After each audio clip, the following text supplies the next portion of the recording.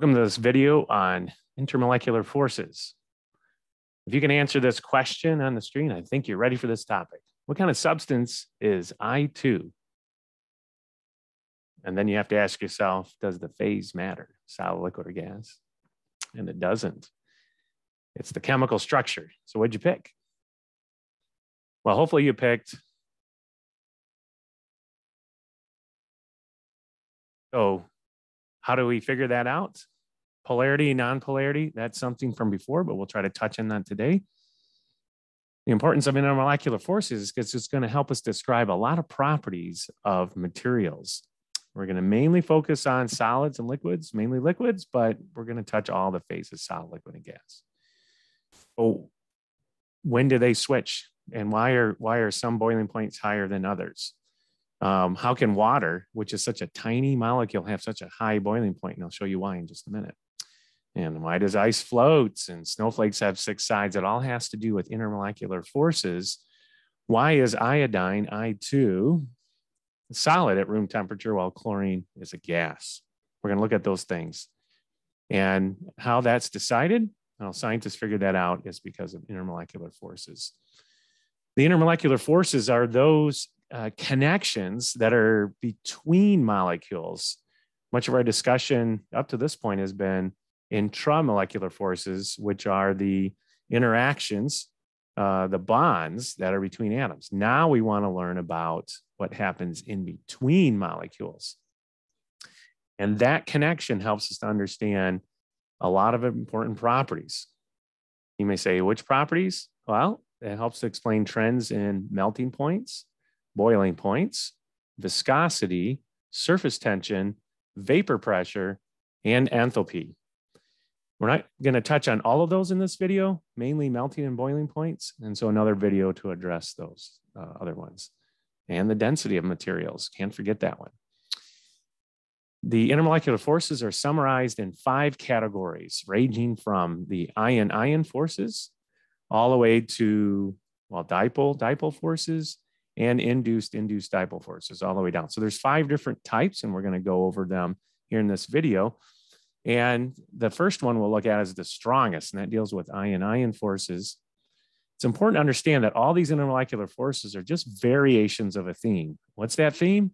Coulomb's force. Coulomb's force is uh, a, a way for us to predict and measure the interaction between two charged particles. Depending on their charge, which is Q, my pen going. The Q's here are the charges, like a plus one and maybe a, oh, I have a, a plus one. Oh, I have a plus two here and then a minus one. Those charges dictate what numbers go in through Q's. And if those numbers are larger, the force of attraction is going to be stronger. Also, the smaller the, uh, the ions, the smaller the objects are, the closer they are together, the stronger the force. So we've got to remember those two things charges and size slash distance. So we're going to look at all those as we go through this uh, conversation here. So which of the following is an ionic compound? Just testing your skills again. And pause the video and see if you can figure that out. But moving right along, we see that the following uh, one that's an ionic compound is E. Why? Because it's a metal, non-metal. That's probably the biggest way to tell that it is an ionic compound. But previously we discussed that the uh, changes in electronegativity, also called delta chi, is greater than 1.7. But honestly, if you just see a metal with a non-metal, you're, you're dealing with ionic substances. You're dealing with the strongest intramolecular forces. Which of the following is a nonpolar compound? Can you look through this list and find it quickly?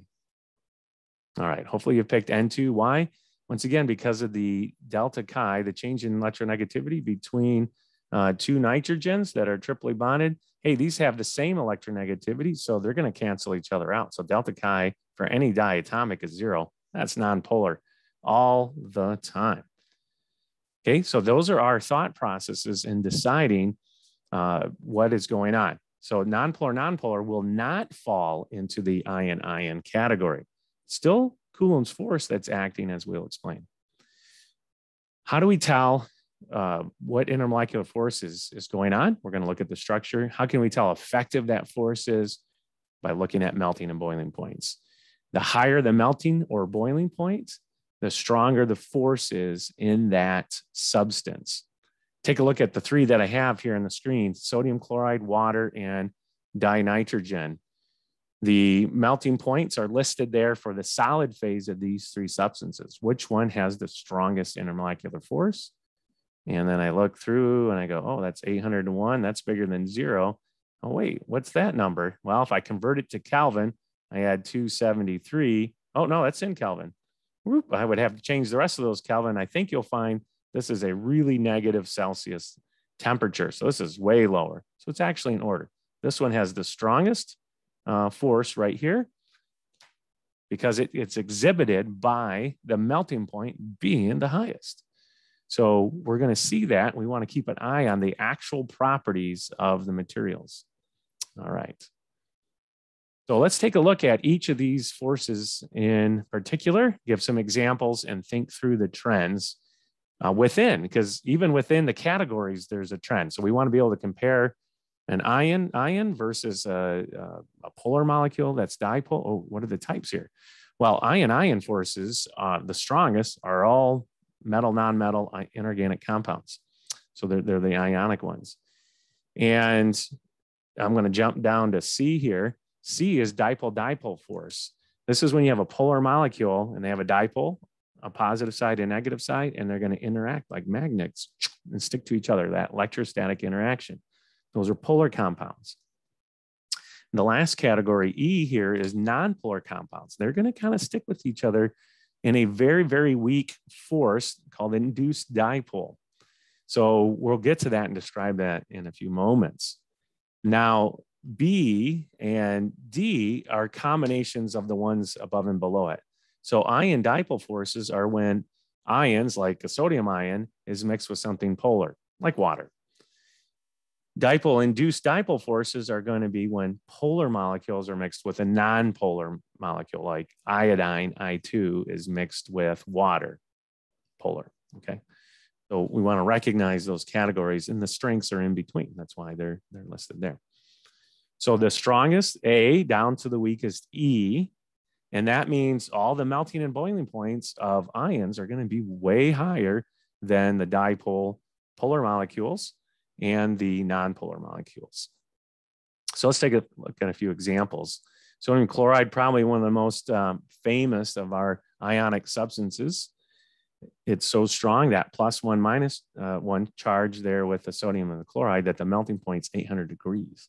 Now, can we beat this? Absolutely. If you take something like magnesium oxide with a plus two and a minus two charge, it melts at 2000 852 degrees Celsius. Whoa, that's way higher. So the force inside that magnesium and oxygen that's holding them together in all through this lattice structure is way stronger. So it's hard to break those bonds. You got to put more energy in to get those intermolecular forces to break apart. All right. And uh, these forces are typically in the 700 to uh, 1100 kilojoules, perhaps even higher. So uh, the charges help us uh, to understand what's going on, and they are whole numbers plus one, plus two, plus three, minus one, minus two, minus three in those categories. And that's what causes the melting point and the boiling points to be so high. Now, what if you had a series of ionic substances here? You can see all the metal nonmetals. Which one would have the highest? Berkeley, my students have not done well on this because we forget the two factors and how that trend reproduces itself on the periodic table. So the answer, well, if we had the data in front of us, that would be the best way to decide. I would look through and go, oh, I see that the highest uh, melting point is with magnesium oxide. That's C. So that is the uh, the substance that has, uh, well, that that there it is, the highest melting point. How would I know that ahead of time? Well, to know that, you'd have to go through and determine the charges. I do that first. And I see that uh, magnesium and oxygen have the plus two, minus two, and so, but so does the barium. Now, the sodium oxide has a minus two oxygen, but there's a plus one oxygen or sodium. So uh, we're going to eliminate all the, the ones that have plus ones in there and minus ones. And so we focus on these two right here. And if you can see on the melting points, those are the two that have the highest because they have the highest charges. Well, how do you sort between things that have the same charge? You go to size next. And magnesium is smaller than barium. So there's no size difference between two oxygens, but there's a size difference between magnesium and barium. If you remember, whoop, over here on the periodic table, I wonder if it will show up over here. The higher you go up, the smaller it is. The smaller it is, the closer they are, the stronger the force. Okay. Charge is first, then go to size. Okay, and that's how some of my students have answered this in the past. All right, and same slide again. Here's some more data to see the differences between uh, some other melting points. And hopefully you can see the trend where the smallest substance uh, in terms of size and when all the charges are the same have the highest melting points. It's typically true. There's some exceptions to this, but you're going to have to go with the trend if you don't have the numbers right in front of you. It's not a perfect thing because chemistry has a lot of exceptions, but it's a trend nonetheless. Let's go to the second category where we're going to deal with an ionic substance. And that ionic substance is going to be with something polar, typically water. That's our favorite polar substance. So water has a permanent dipole in there because there is the electronegative oxygen, so it's negative charge. And then there's the positive side with the hydrogen. So we often write a little plus sign with an arrow pointing to the negative. Now, this dipole then acts like a weak um, ion and it causes the water molecules to have a Coulomb's force between them. And that Coulomb's force then can interact with the charged uh, ion, like a sodium or a chloride, and that hydrates. The water surrounds it with the negative side of water molecules surrounding the positive side or the positive ions, and then the neg- the positive hydrogens surrounding the negative uh, anion that's in there. All right. See the trends in this force by looking at the enthalpy, the energy that is released when these ions are dispersed or dissolved in water. So if potassium is dissolved in water, we see that there is a negative 321 kilojoules per mole that is released.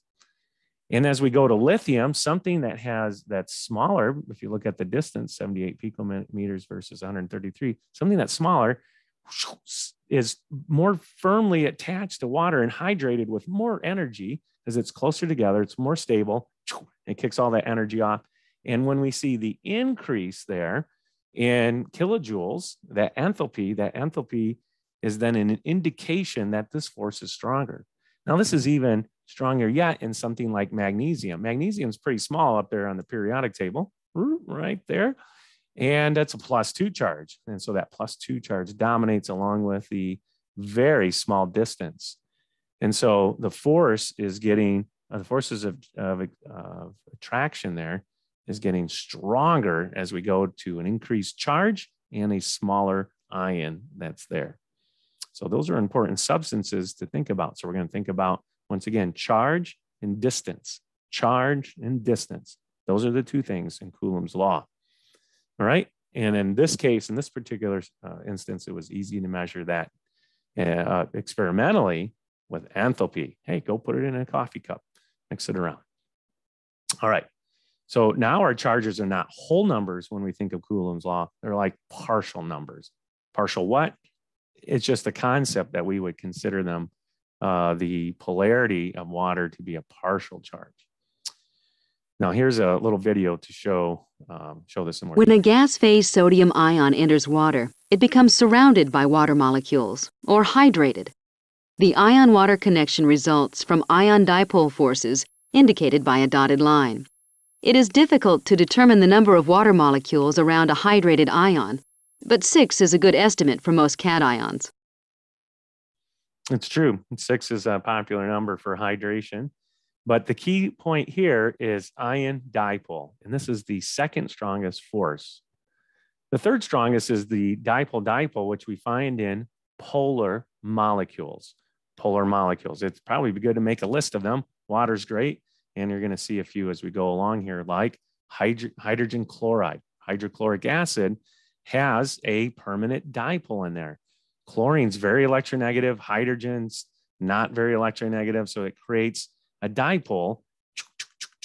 And those uh, forces then hold together the, um, the molecules and create a pretty decent uh, boiling point for this for these substances.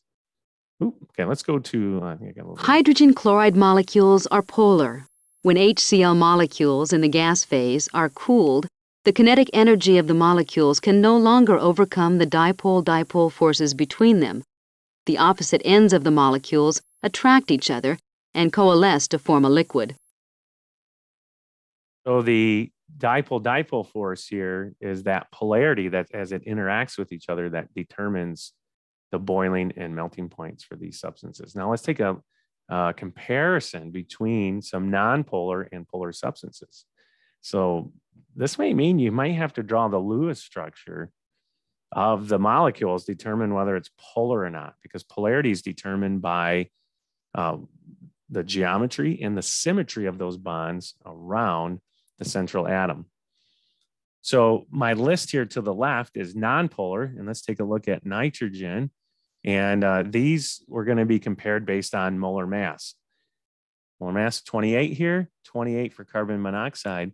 But notice that the boiling point is higher with the carbon monoxide. Why? Because it's polar versus the nonpolar nitrogen. So that gives it a higher boiling point, and it also gives it a higher enthalpy of vaporization. It takes more energy to vaporize it. So the forces are stronger there.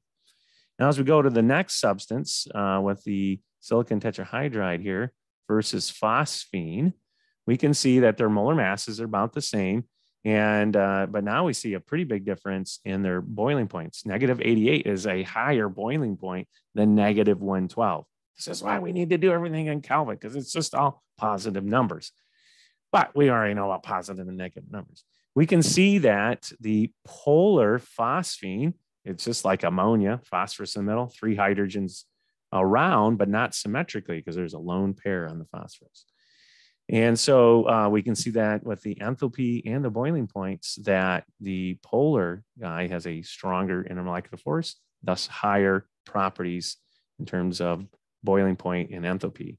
Now taking a look at germanium, uh, compound hydride and an arsenic hydride, uh, about the same molar mass. And boy, we're now starting to see even a bigger difference uh, or pretty big differences in the um, boiling point and the vaporization. Getting down here to our last substances here that are, are halogens.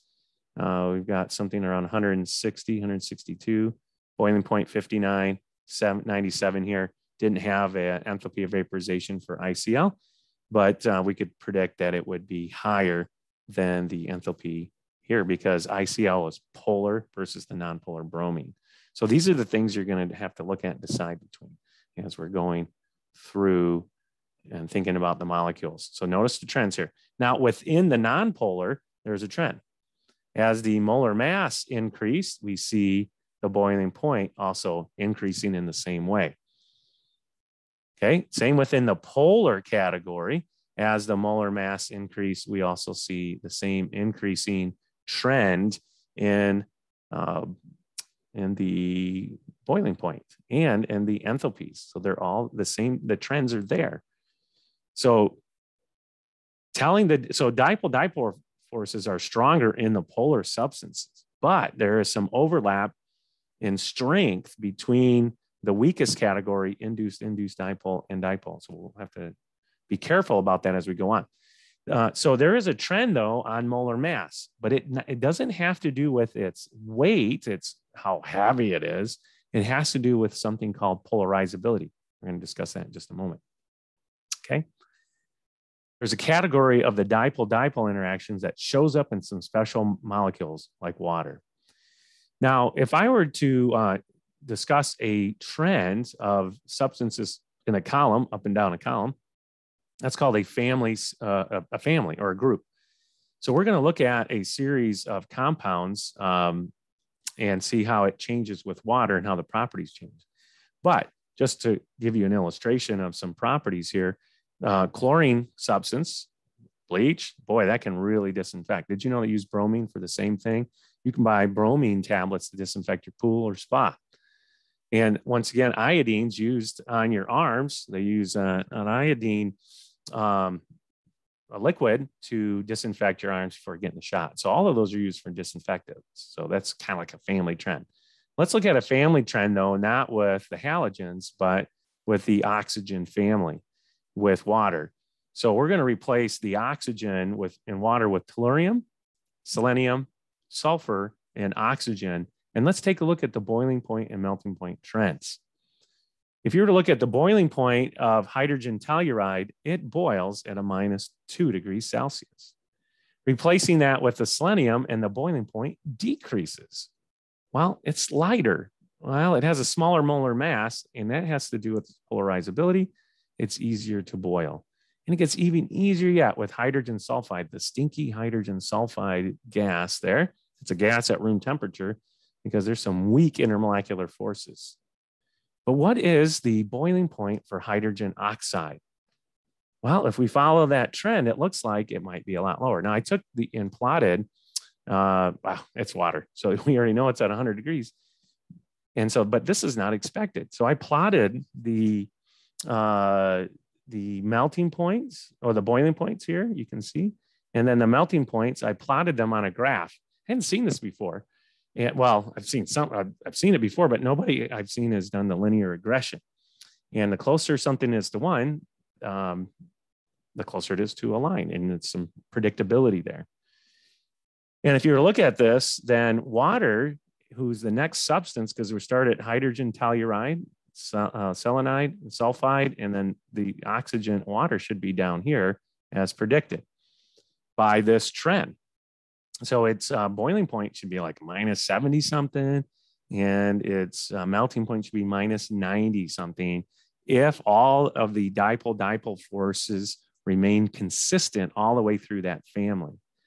So we, we just don't see that for this substance here. Okay. Okay. I haven't actually. So right at the end where those dots are, that's where water would end up based on its molar mass. That's what this chart is showing molar mass up here at the top and then the temperature of the phase change on the left. Okay. Amazing how uh, correlated these uh, properties are.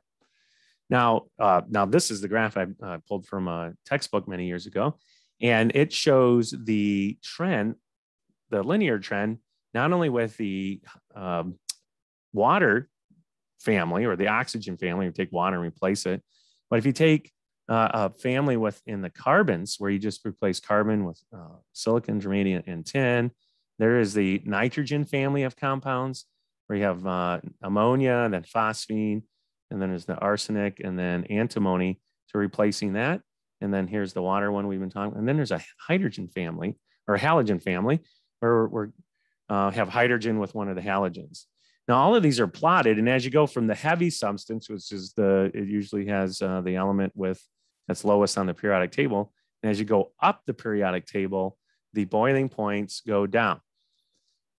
But as we see here with the trend in uh, the carbon family, that is a nice, nice, a nice line right there that follows a nice trend as you go up the periodic table, the boiling points go right down. However, uh, those trends are not seen in uh, these other substances here. What do we see in these trends? Well, we would predict all of these boiling points to be in this area here. I wonder if I can get these uh, erased. So we're going to work on that. But what do we see? We see that ammonia actually boils at a much higher temperature than predicted. HF, hydrogen fluoride, uh, boils at a much higher temperature than predicted, and water even more so there is something unusual in these three compounds that is not seen in the other ones.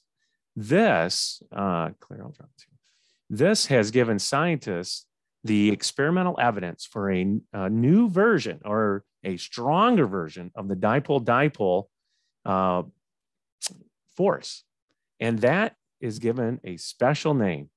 That is given the name called hydrogen bonding. Why? Because it shows up in compounds with hydrogen in them and oxygen, hydrogen, and fluorine, hydrogen, and nitrogen. This intermo- uh, so these intermolecular forces are called hydrogen bonding. Hydrogen bonding shows up when you have uh, you have to have a bond in there of some X and some Y here with, with hydrogen. So it's not just that you have hydrogen, you have to have a very polarized bond because of the difference in electronegativities.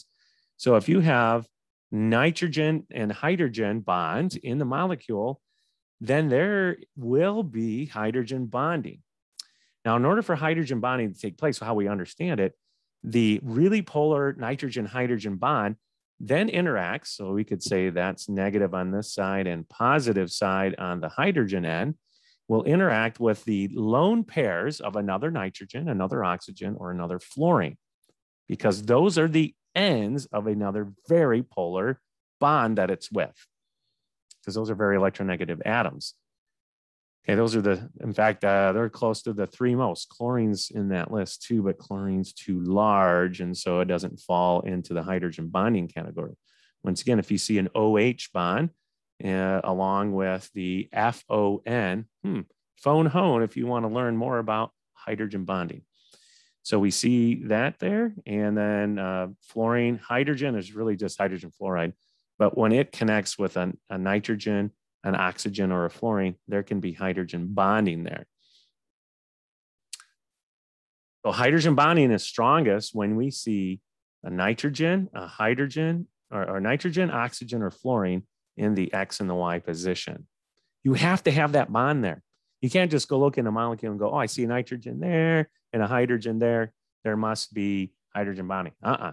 They have to be connected, nitrogen to hydrogen, because that's what creates the polar bond that creates the, the very polar bond and creates this force.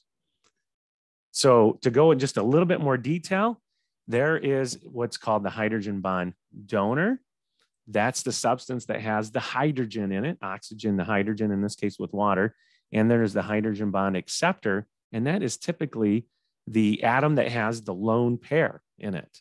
So water in itself, in and of itself, is both a hydrogen bond donor that goes through the positive end, but also accepts, because it has two lone pairs here, it also accepts two hydrogen bonds. So this is why water has such a deviation away from its trend. It can uh, hydrogen bond in four areas. Now, so can nitrogen through its hyd- through ammonia through its three hydro- uh, the three hydrogens and the lone pair.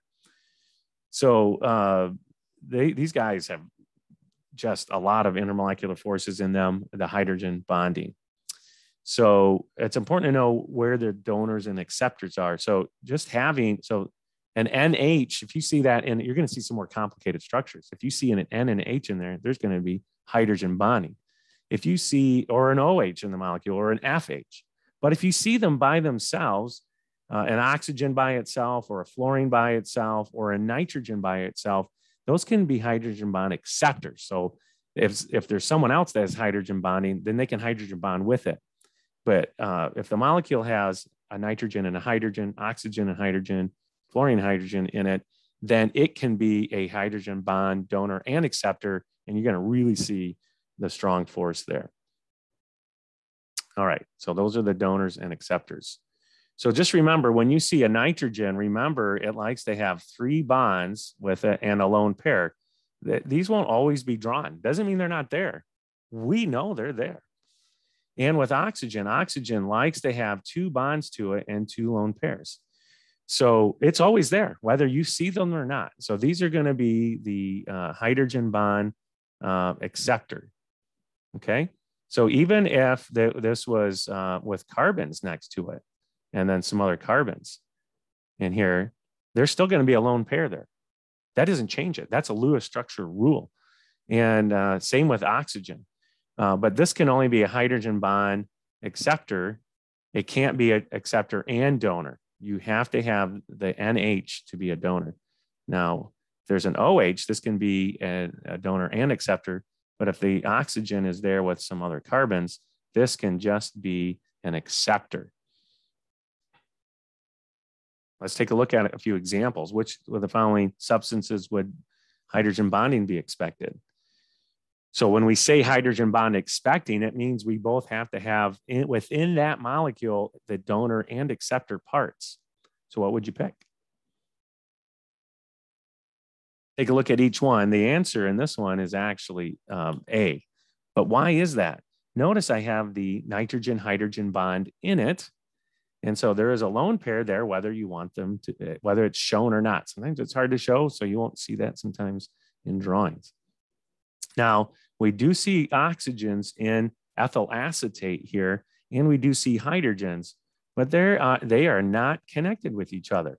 So there's no NH bond, OH bond, or FH bond in, in ethyl acetate. So it cannot be, it cannot have hydrogen bonding, okay, in it. And if you see carbons and hydrogens, that thing is so nonpolar. There's no polarity in it. You've got to have some oxygens, nitrogens, fluorines. So the one that's going to be the best is when you have the NH or OH or FH in the molecule. They have to be connected with each other. Let's take a look at this uh, question. Which of the following would be expected to form hydrogen bonds with water? Now, this opens up the playbook some more. We don't have to just look for the NH-OH-FH bond. We just need to see if we have uh, an oxygen, nitrogen, or fluorine in them. So what would you pick? All right, now taking a look at this, we would see, oh, that has an NH group in there. That's going to have hydrogen bonding with itself and with water. If it can hydrogen bond with itself, it's definitely going to hydrogen bond with water. See the same thing in ethylamide, ethylamine, sorry. And there's an NH bond in it. So that is going to hydrogen bond with water and with itself. Ethyl ether here, the, the lone pairs, this is a hydrogen bond acceptor. So it can hydrogen bond with water. Water is a donor and acceptor. It's going to behave as both. So this is good, this is good, this is good. But pentane, there's no oxygen, no hydrogen, no nitrogen. So it can't do any of those things. So you, I have the descriptions there. Water needs, uh, provides the OH, so it provides the donor. Uh, we need some oxygen, nitrogen, some fluorines to be the acceptor, okay? Now their lone pairs are there, even though they're not drawn. That's why we did all those Lewis structures to get to this point. Okay, and then I give the explanations here. Uh, nitrogen, hydrogen bond. Um, so this is just will be on my slides when I post those as well. Okay, so we got three out of the four could hydrogen bond. Now we've discussed uh, three of the intermolecular forces. We're going to just march right along and do the last two dipole induced dipole forces. This is when we mix a polar compound with a non-polar compound. So let's take a look at a few examples uh, with that. So that would be like uh, oxygen and, and, and uh, iodine, these diatomics, nonpolar, dissolving in water. So you, how would you expect that a polar molecule or a nonpolar molecule like O2 and I2, how does it dissolve in water? I make solutions with uh, I2 in class for my lab. How does that happen? How can that happen? The, I thought oil and water didn't mix. I thought nonpolar and, and polar do not mix. Well, what happens is the polarity of water as it runs into these nonpolar molecules, disturbs the electron cloud and creates and induces a tiny little dipole in it. For it's temporary, it's fleeting, it doesn't last long, but it's there. And that's enough to create some interactions to make a solution of it. Now, it's not very concentrated, but it happens. So you can make a little bit. All right, video. On average, the electron cloud of an O2 molecule is distributed symmetrically across the molecule. The molecule is not polar. A water molecule, which is polar, repels the electron cloud, causing it to be asymmetrically distributed and thereby induces a dipole in the O2. This shift allows O2 to be weakly attracted to the water molecule. That weak attraction is enough um, to allow for dissolving, and you can measure probably this interaction with enthalpy and other forces. But notice the two molecules, a polar molecule and a non-polar molecule. So this is called inducing a dipole. It's not there normally until something else causes it to show up. This is how oxygen dissolves into water. Not a lot, but enough for oxygen, the O2 diatomic nonpolar molecule, to end up in water. And that's what the fish breathe and the organisms in water. And that's how nitrogen, dinitrogen gets in the water as well. And so this is responsible for the solubility of these nonpolar substances in water. Now, notice as the molar mass increases, the amount of, of that gas increases in terms of its ability to dissolve in water. And uh, so as the molar mass changes, we can dissolve more. Why? Because it's going to polarize more. You've got a bigger substance, it's going to polarize easier, and you're going to create a better induced dipole that's stronger. So this is actually Henry's law here when we're mixing a gas with uh, water. Henry's law is going to come up later, not here, but we're going to discuss it later. Just want you to know it's coming. And uh, the fish agree that all of these interactions are extremely important. All right. So the degree at which the strength is there depends on polarizability. Polarizability of the electron cloud is related to the size of the molecule. So it's not because the molecule is heavy, but because it has more electrons, or electron cloud that can polarize and shift. That's what makes these higher molar mass molecules stronger in their uh, dipole forces or induced dipole forces. So this is why something like iodine can dissolve in ethanol. Now, ethanol has that OH group in there. The OH group makes it polar. And that polar substance with the nonpolar iodine can dissolve because of that. Now, there is some nonpolar nature here with the ethanol part. So they, that, that also helps I2 to dissolve. So I2 dissolves a little bit better in ethanol than it does in water, but partly because of this induction of a dipole that occurs when the polar part interacts with the nonpolar molecule. All right, for the last uh, category is the um, induced induced dipole. This is just purely nonpolar compounds interacting with themselves or with other nonpolar molecules. Now, all of these are still intermolecular forces that depend on Coulomb's law. It's just now these induced dipole forces are so weak, they do not um, give a, re- a strong Coulomb interaction. Now, iodine, I2, and I2, they are nonpolar. But when they bump into each other, their electron clouds, which are negative, induce a dipole in each other just by being in the same solution, being next to each other, being in a liquid or a gas. So it is a self induced dipole. So we call this induced induced dipole. It's happening with itself. Over the years, different synonyms have come up uh, with this because of people who worked with it. London dispersion forces, you'll hear me say that, or van der Waals forces, you'll hear me say that as well. It's nice to just say all three so we can get comfortable seeing and hearing um, three different ways to describe the same thing.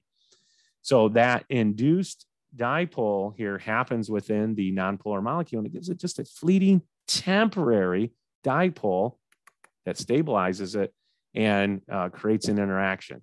So then now you got to add some heat in order for it to melt or boil. Okay, now I2 here has no dipole, but this video will show you how the induction happens. An iodine molecule has, on average, an electron cloud that is symmetrically spread over each iodine atom. I2 is not polar. The attractions or repulsions between the atoms of I2 molecules can distort their electron clouds. Dipoles can thereby be induced momentarily in neighboring molecules. So this induced induced uh, dipole force is actually pretty strong in I2. In fact, it's strong enough that I2 is a solid at room temperature. So even though it's a really weak force, iodine, as you can see on the periodic table over here, is, is one of the bigger, it's a pretty big molecule. And it's not because it's big and heavy, but because it's big and polarizable, you can create a pretty good induced dipole force there. So uh, this is that iodine is kind of weird uh, it's strong, and so you get the solid phase. But if you add a little heat, you can actually turn um, iodine. So there's there's iodine. Oh, it's a beautiful purple, beautiful purple crystal. And as you heat it, you get this purple haze. Purple haze. That's me. Purple. and I'm a haze. And, uh, and so to create a purple haze, you just put a little heat on iodine. That's why I'm showing this one. And with a little cooling on top, you can get the solid to, to, to condense back out. Uh, so that's sublimation going from the solid phase to the gas phase. That's pretty cool. And uh, that's some pretty good intermolecular forces in I2, even though it's uh, the, of the weakest. All right. So, what are the trends that we see in polarizability? How do we create uh, an understanding of a distinction within the uh, nonpolar uh, substances? So, fluorine, which is small here, so there's not a lot of electron cloud to polarize, has a really low boiling point. So, I'm doing this in both Celsius, okay, and Kelvin. All right, so 172 uh, degrees Celsius is, uh, oh, wait, what am I saying? Kelvin. That's the melting point, and that's the boiling point. Oh, very nice. It's all popular, uh, popular. It's all positive numbers, makes it easy. So the melting and boiling point uh, raise a lot in chlorine. Why? It's more polarizable. You get to bromine, and that substance melts at 267. Boy, that's almost at uh, zero degrees Celsius. And then 332 is where it um, boils. And then iodine, which is the largest of those, it has the highest and strongest forces uh, that are induced in those nonpolar substances. Okay, let's take a look at some other molecules here. Methane, CH4, going to, oh, I, so this is the one I have degrees Celsius and Kelvin, because maybe some people like Celsius. Ethane, which has more carbons, more hydrogens, more polarizable, higher boiling point. Same with propane, more carbons, more hydrogens, more polarizable, and the boiling point continues to rise. And you go to something like butane, which has more carbons and even more hydrogens, more polarizable, higher uh, uh, boiling points there. So, why do molecules with greater molar mass have stronger intermolecular forces? What do you think? Is it because they're more polarizable, less polarizable? They are heavier, which makes them stronger. They move slower, so the dipoles have more time to interact with each other. Well, do I have the answer here? The answer is A. yes, I do. So they're more polarizable. Uh, you can't be more and less. So it's A is a is a good answer. B is just wrong because they're not less uh, polarizable. Um, the heavier is not the way we explain it. It has to do with electron clouds and the polarizability. Now, this is an interesting distracted. They're slower because we talked about heavy molar mass objects have slower speeds, but that's a gas phase thing. And so, um, yeah, it's, but this, they will have, I think that's partially true, but it's the, the, the, the, I would say the greatest truth there is A. All right, so that is the study of intermolecular forces. We gave you a number of, I gave you a number of examples. So you can go work on some homework dealing with these things and some ideas. And so we have five uh, intermolecular forces, but they're really an expression of one. So think of my hand, my palm here is Coulomb's force, and is expressed as the strong, I guess that's the ion ion force. And then there is the dipole force, and then my last finger right here is the induced. And my other fingers then are when the dipole and the ion forces interact with each other. So you're, this is a handy way to remember the intermolecular forces and how they grab each other. And the stronger they grab each other, the higher the melting point, the higher the boiling point. Thanks for watching all the way to the end. I hope you've learned some more about intermolecular forces and how that creates the properties and the trends we see in these substances. Thanks for joining me, Dr. Hayes. Hope you have a great day.